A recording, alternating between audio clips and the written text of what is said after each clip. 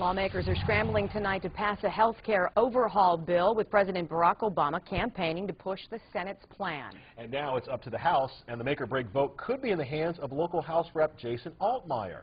Team 4 investigator Paul Van Osdol here to explain how you're being pushed to get involved in all this. Yeah, there's a lot of ads that's going on. As you may have seen, groups for and against health care reform are spending millions of dollars in ads. One of the groups is called the Committee to Rethink Reform. Team 4 has learned the man behind that group is so controversial, even his friends call him Dr. Evil. Americans are in the middle of an economic storm, and an even bigger crisis is brewing. Our nation You may have seen this ad by the Committee to Rethink Reform running on local television.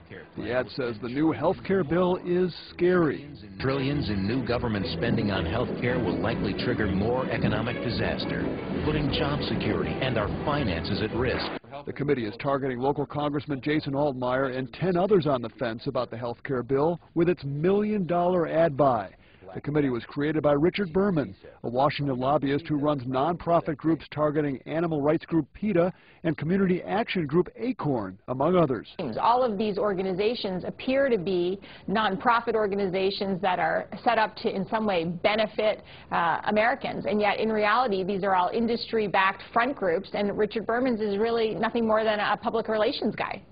Citizens for Responsibility and Ethics in Washington, or CREW, has set up its own website targeting Berman. A spokesperson for Rethink Reform says Berman is a target because his groups run edgy ads on controversial issues, and people opposed to them like to say bad things about Berman.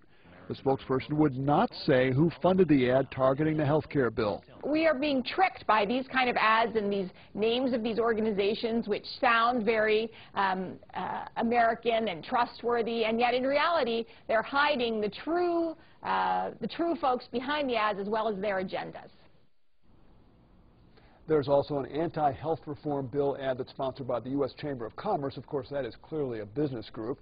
In the next few days, expect to see pro-health care reform ads sponsored by liberal groups, and we'll be taking a look at those as well. And as for Congressman Altmire, he has still not decided whether to back the health care bill, but he, of course, is getting plenty of lobbying himself from even the president. You can imagine so. Oh, yeah. All right, this is going to be a hot topic mm -hmm. for a while. Thank yes, you very much, Paul. Okay. Paul, thank you.